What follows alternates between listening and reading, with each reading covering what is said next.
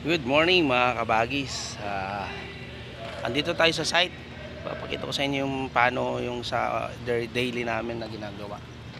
Yung pagtutulbox na tawag. Ito po mga kabagis. Yan, ito po yung site. Yung project. Tapos ah, ito po yung ano natin, mga tempasil. Okay, tingnan natin yung mga tao mga kabagis.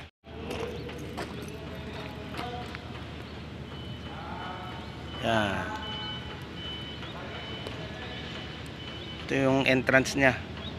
Gagawin pa mong rampa to. Ito yung mga tao. Yan. Toolbox pa ang tawag niyan mga kabagis. Ito po yung buong kabubuo, kabuuan ng ginagawa, ginagawa namin project.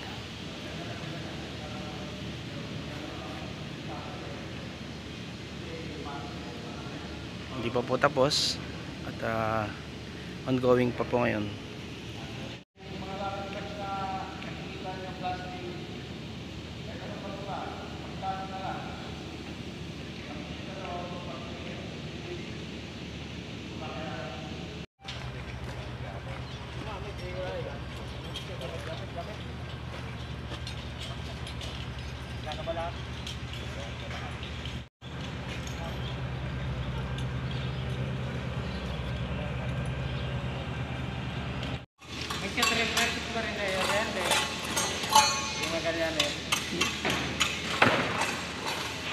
Okay, bale usually ganito ang ginagawa ko sa umaga. Chine-check ko yung site. Sa harap o sa loob, sa likod. Sa mga position ng mga tao. So, ginakaos ko yung foreman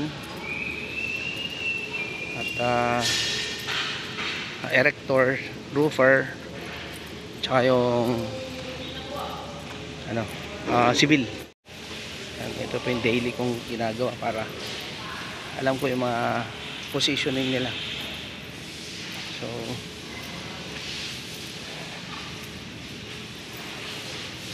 tingnan natin yung ano niya, yung ginagawa sa likod. Okay. Ito po.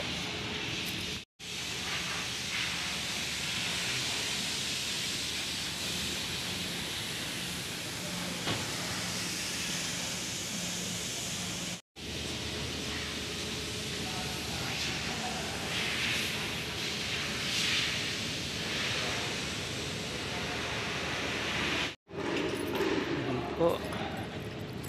Daily routine ko po ito bago gumawa ng paperwork. Chine-check ko lahat.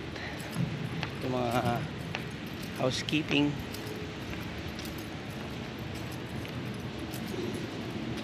Ito yung side niya. Kabilang side.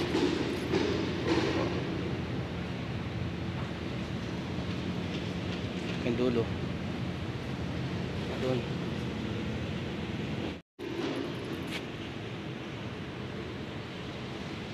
Ay 3,000 square meters. 3,500 square meters.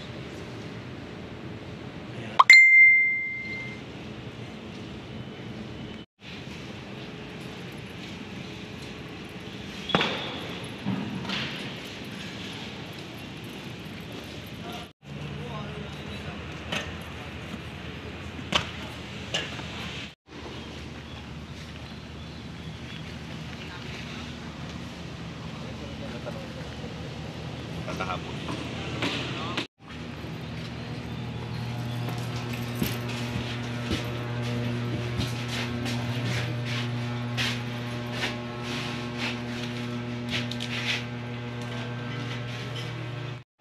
pag nasa office naman, alam nyo na, paperwork.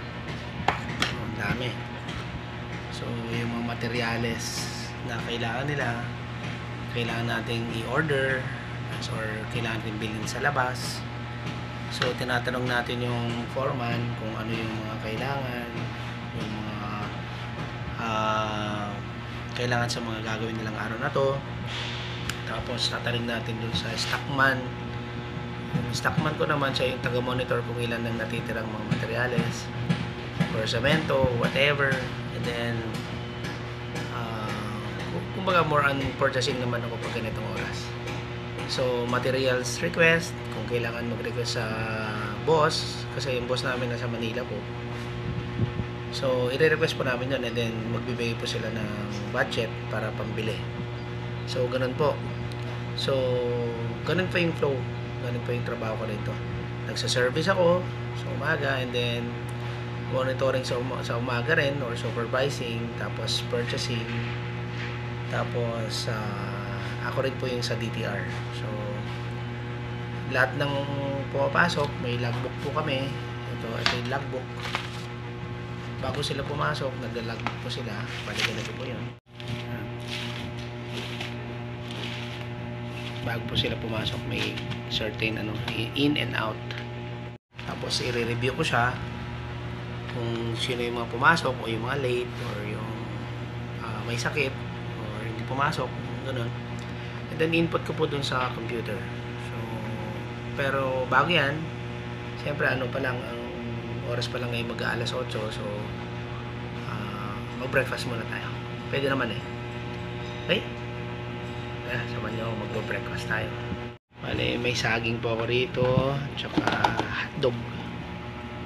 Kakanin. Yan, okay na mo yan, mga kabayis. Yeah.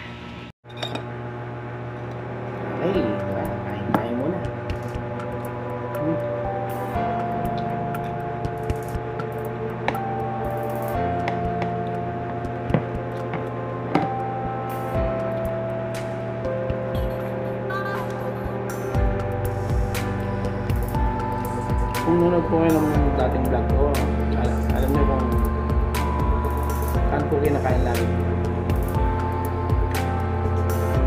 Mag uh, back view po kayo. Kasi lagi ko po itong kinakain.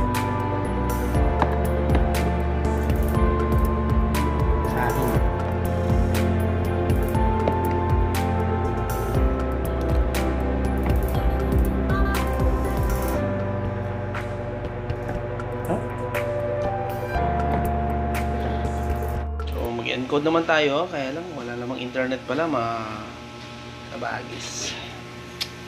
So, baka mamaya na lang pag nag-load daw. Okay? Punta mo na sa So, yun lang muna. Sa ngayon, mga kabagis, ang may papakita ko sa inyo. So, maraming salamat po ulit sa panonood at pagsusubaybay sa daily vlogs ko. Okay?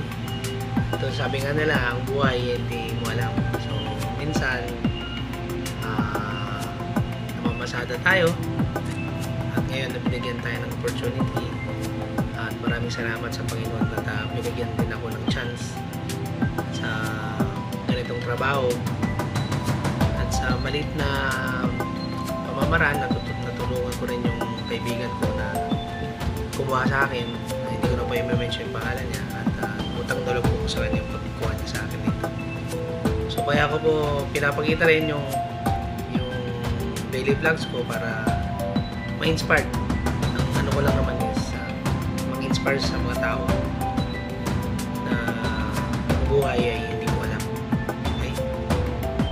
Minsan may swerte minsan may wala. Ganun pa talaga. So laban lang mga kabangis. So inspired lang. Kailangan ng inspirasyon sa buhay. Okay? Maraming salamat po sa panonood at ah, sana panoorin nyo ulit